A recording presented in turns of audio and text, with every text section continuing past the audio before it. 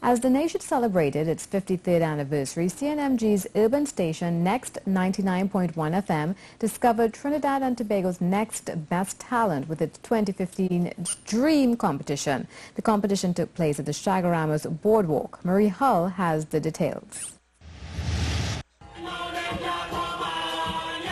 On Sunday at the Chaguaramas Boardwalk, the panel of judges had an earful as they watched the talents of 10 sound systems, announcers and DJs display their skills to become the next best thing to grace the airwaves.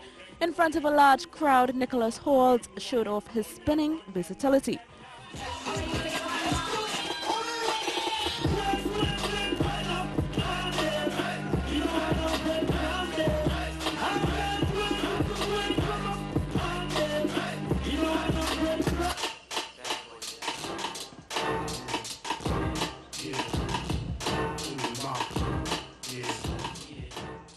This announcer was up for the challenge when given the task of doing an impromptu interview with the next Prime Minister of Trinidad and Tobago. We know, let's, let's be straight, we know that politicians give a lot of promises before election day. We have had election day and today is the day after. What can we expect for you moving forward within the next five years? One woman tried her hand at the male-dominated field, vying for more women to get involved in the industry.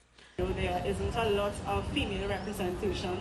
So if I could be the female to stand up and represent and show all the females out there, listen, we could do this too. What you say?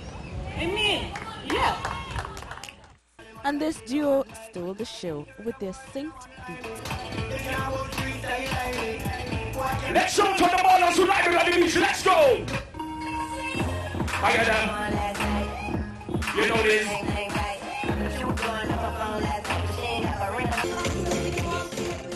In the end, it was three lucky winners who took the title in the three categories as DJ, announcers, and sound systems. Marie Hull, C News.